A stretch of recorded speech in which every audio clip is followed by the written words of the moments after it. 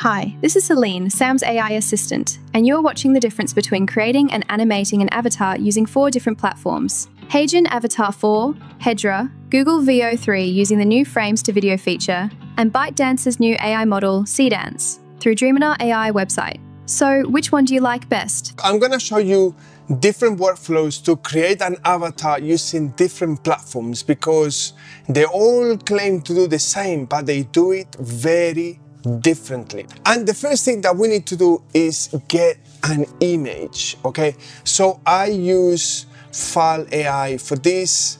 I use the image to image section and I use Kontext. And then you write what you want. There's no need to overly complicate it.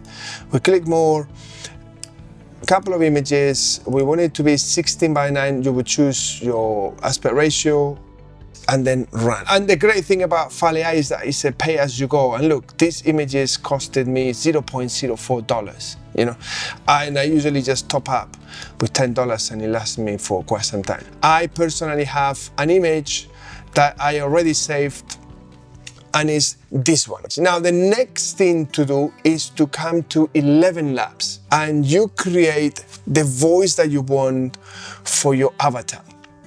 Very simple and straightforward. You literally prompt the voice that you want and ElevenLabs will give you a number of options and that voice is going to be reading this text that you can change and auto-generate and you can tweak the prompting until you get voice that you like. And to create the voice that we're gonna be using is very simple. We come here, we create or type a text or paste from a document that you might already have, and then you search for the voice that you want. In my case, I already have one created here, and I'm gonna see if it works with 11.3. Yeah, okay, it works with a new beta model that ElevenLabs has, and then you just generate the speech, and within a matter of a couple of seconds, we're gonna have the speech created.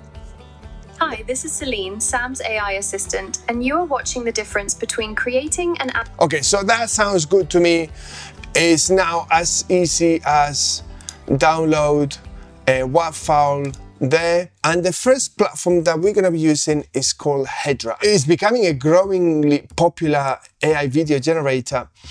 It's very well priced. And again, we do the same thing. We upload our uh, shot and then we do upload audio. So we go to downloads and it's the last file. There you go. So that's the video and you can prompt it to natural body movement and this is what we get.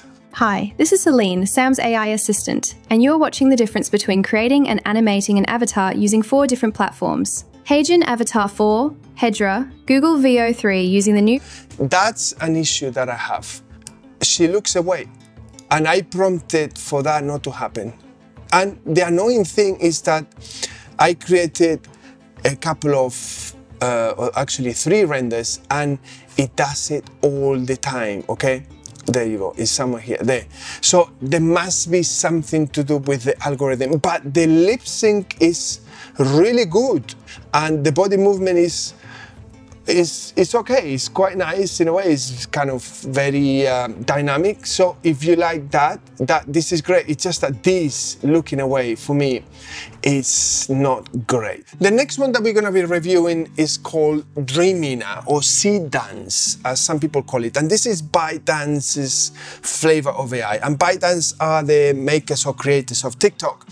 And this is the platform that they have. And they have some really impressive results. I've been using it for a while. You can get some really cool results. They have AI image, they have AI video, but they also do AI avatar. And soon they're gonna be doing mimic motion, which I think that's gonna be really, really great. But for the AI avatar, you use the same process. You pick your image, that's the one. For audio, you have a 15 second limit. Another downside is that you cannot prompt anything. You need to let the engine do the magic. And this is what we get. Hi, this is Celine, Sam's AI assistant, and you're watching the difference between creating and animating an avatar using four different platforms. Look at the skin tones, okay? The skin tone starts nice but look towards the end of the video. It's a totally different person. And I have a real problem with this. I ran a different test with Celine, but in an outdoors environment, and the skin tones don't change. So I don't know whether there is a limitation of the program or not. There is no ability to prompt any of this. So obviously there is no way of me telling the engine, please keep the skin tones natural, no change or anything like that. So this is a bit of a downside of this, but the lip sync was perfect. Now I also used Veo 3 but in this case Veo 3 fast okay? Now google has a very similar setup. You have no ability to import any audio. You have to actually prompt it and you have an eight second limit. It's not a lot but this is the results that you get once you prompt it you need to tell google what you want to happen and then prompt what you want the ai avatar to say so this is Google Veo 3's fast result. Hi, this is Celine, Sam's AI assistant, and you are watching the difference between creating and animating an avatar using four different platforms. HeyGen Avatar 4. There is no control over the voice. You just have to accept it, and she's got a very strong American accent, which may or may not be something that you want. You might not like the voice. So the way you go about this now is you upscale the file, okay, upscale it and download it back to ElevenLabs and then you go to voice changer and here drag your file even mp4 you drag it there and then you tell ElevenLabs that you want to use you know whichever voice you want in my case i have my voice which is that one and then you just generate the speech and within a matter of seconds it's gonna convert the American accent voice to Celine's voice. So with this, you would then go into your editing program and upload this video and then swap the audio. Hi, this is Salim, Fram's AI assistant, and you are watching the difference between creating and animating an avatar. The animation looks good, the hair moves nice. It's a bit static, but I guess it's okay. Now, the next platform is HeyGen, and this is, in my opinion, the best platform for this type of work, okay? Now, there are a number of different ways to do this, okay? Once you have your membership, because this is all paid, okay? You need to invest some money on this. The easiest and in my opinion, best uh, quality is Avatar 4. You bring your file and then you bring the audio that you created. In my case, I already have it here. And then you press 1080p and then you hit generate video. Hi, this is Celine, Sam's AI assistant, and you're watching the difference between creating and animating an avatar using four different platforms. So as you can clearly see, everything looks good in this video. From the first frame to the last frame, there is a consistency in the skin tone, nothing changes.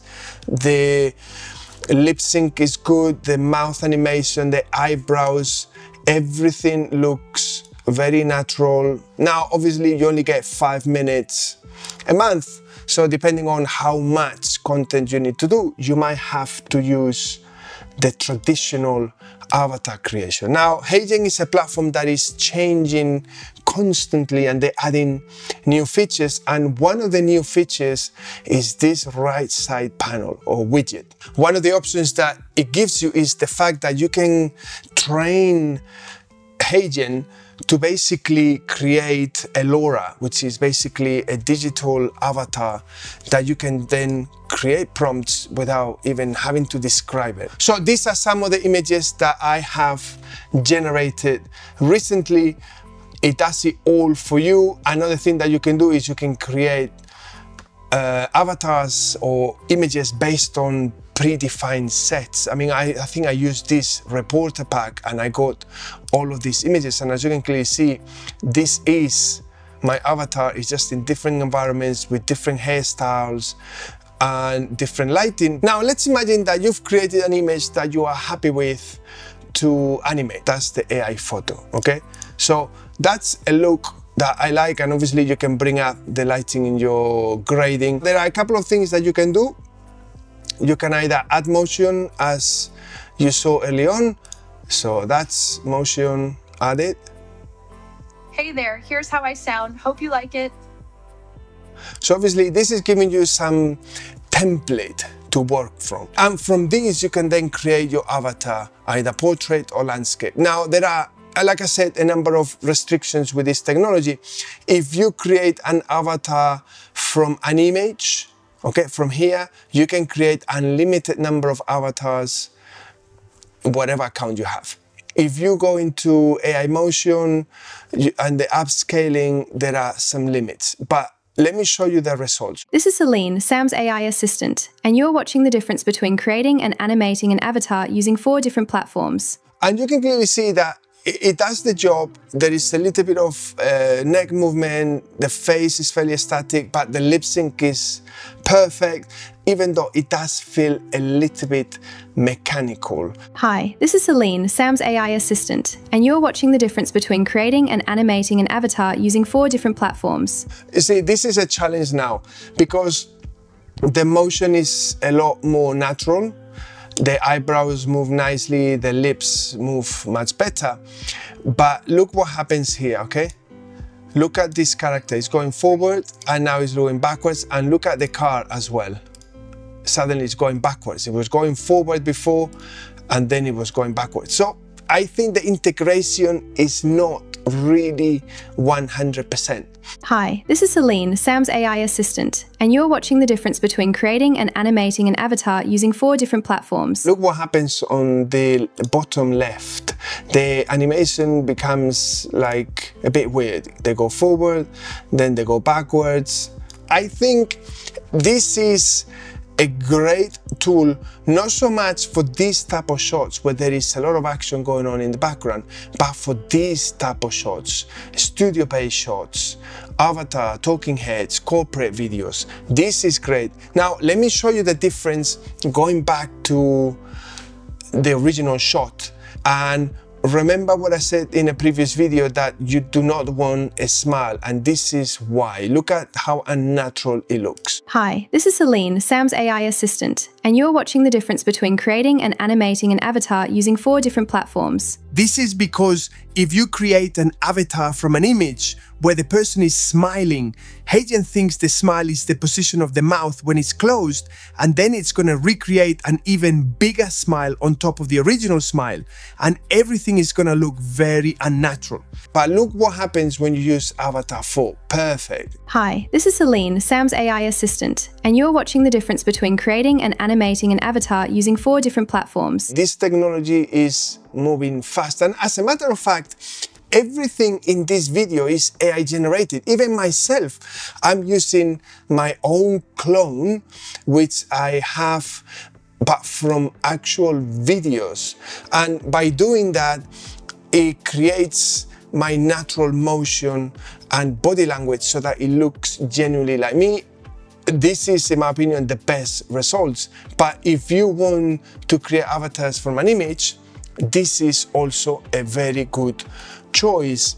Definitely better than Hedra, Dreamina, or Veo 3, in my opinion, from an image.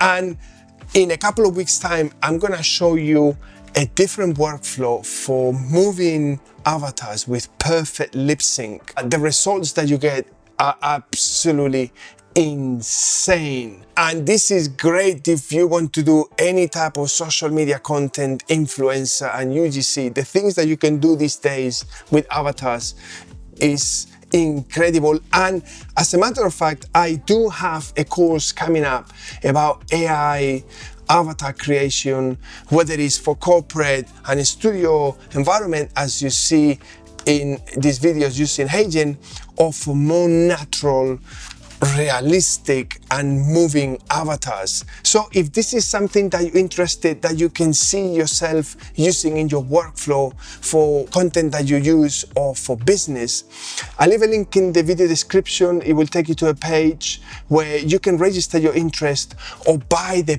pre-sale, which is heavily discounted and at a rate that you are not gonna find when the course is launched in a few weeks. And I literally walk you through a step by step in that course using different platforms so that you don't even need to do any thinking.